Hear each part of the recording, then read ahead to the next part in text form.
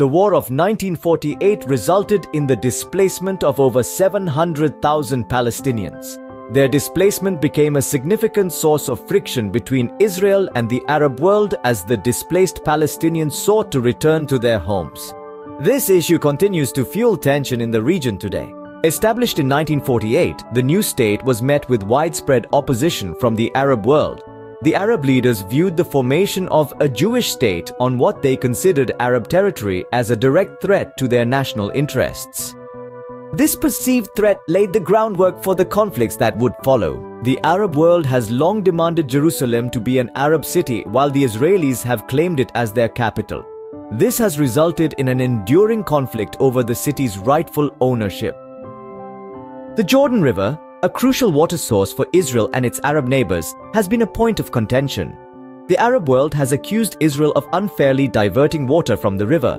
In contrast, Israel has maintained that it requires the water to cater to its growing population's needs.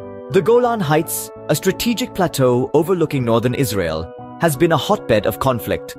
The Arab world demands its return to Syria, while Israel firmly refuses, citing strategic reasons. The Arab-Israeli war was triggered by a combination of factors, each contributing to the overall conflict in its unique way.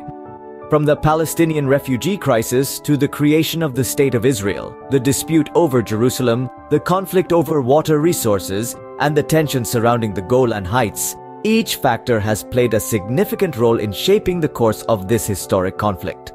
These causes, deeply rooted in history, politics, and culture, continue to influence the region's dynamics. They provide an essential context to understand the ongoing tensions and conflicts that have marked the Middle East. Understanding these causes is crucial to make sense of this complex region and its pivotal role in world affairs.